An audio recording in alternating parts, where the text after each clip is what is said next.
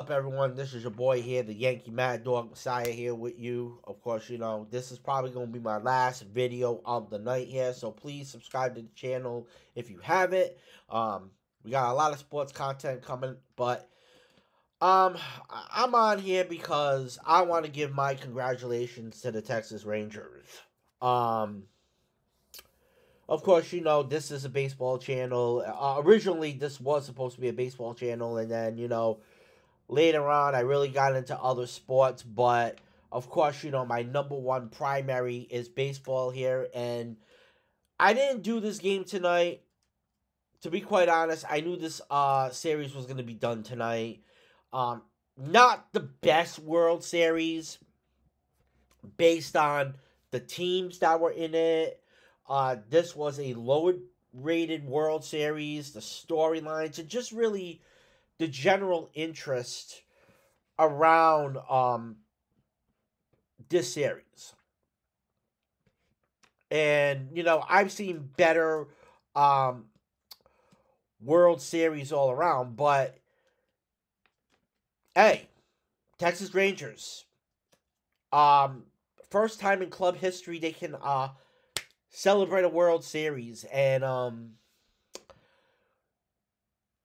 this World Series to them, um, for the Rangers, I mean, you got to celebrate like the Boston Red Sox did in 2004 when they broke the curse of the Bambino and, you know, honoring, you know, former Red Sox players that tried to win a World Series, that tried so many years. And the one player that you got to think about is Nolan Ryan. Because Nolan Ryan was a Texas Ranger for so long and he never won a World Series. And the thing with this is, I was saying this on Instagram, and I'm gonna say on here. I gotta talk about the fact that Bruce Bochy, for the third time in baseball history, has won four World Series. You know, he's up there with the likes of uh, Joe Torre Joe Torre won four World Series with um the New York Yankees. We all know that. And the one thing that I want to say, and I said this on my Instagram, by the way, um, because I am going to take a direct shot at the front office, and I'm going to take um, a shot at Hal Steinbrenner.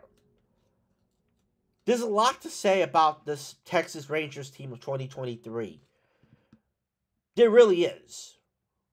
When it comes to um, how they won this championship.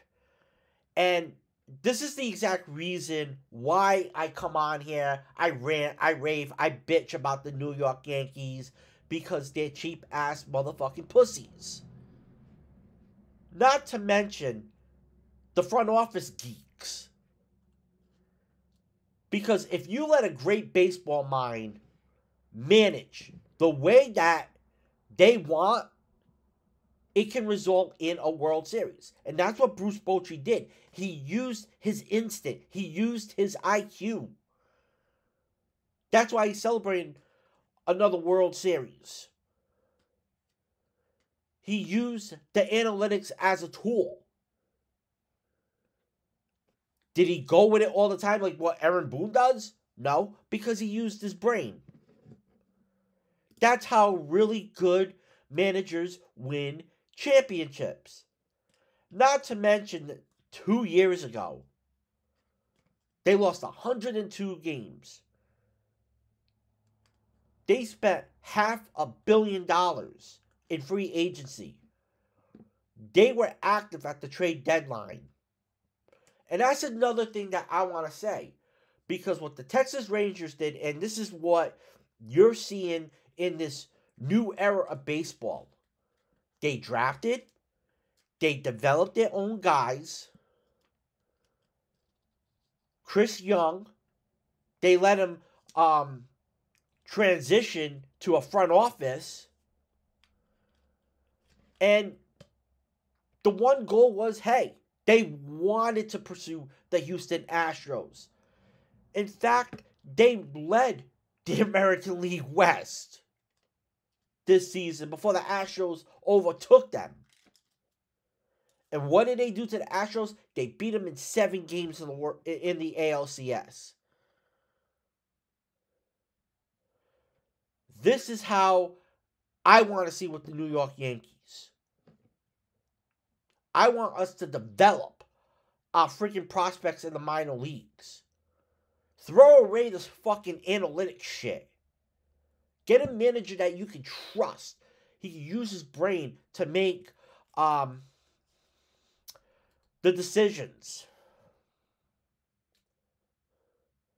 And I can say the same thing with the Diamondbacks. That's why they went to the World Series too.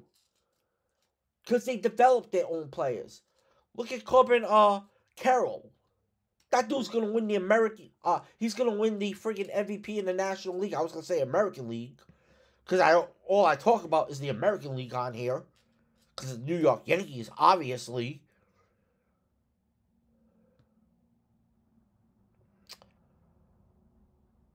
But man, congratulations to the Texas Rangers.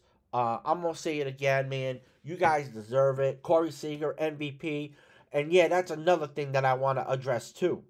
Because Corey Seager could have been with the New York Yankees. We could have gotten that motherfucker, but Brian Cashman let him go.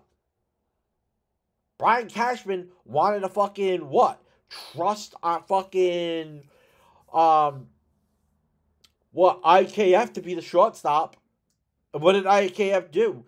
Um committed so many freaking errors that he had to be a utility player.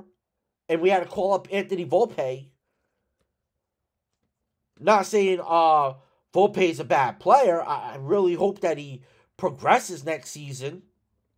It gets even better, but man, it, it's a freaking. It's like you know what this team does, the Yankees. It's like they get a fucking dagger and they they fucking stab you in the heart with it. And let all that freaking blood out. And that's why I say, Yankees, in, if they don't do anything this offseason, you're going to see what happens. And I'm going to keep saying that for the next three months. You don't do anything, I will unleash on this team. I never lied to you guys. I will rant because the rants, they keep on coming 365 days a year. All I gotta say, guys. Um, let me all know what you think in the comment section down below. Congratulations, uh, again to the Rangers. Until then, I'm out. Peace. Have a good night.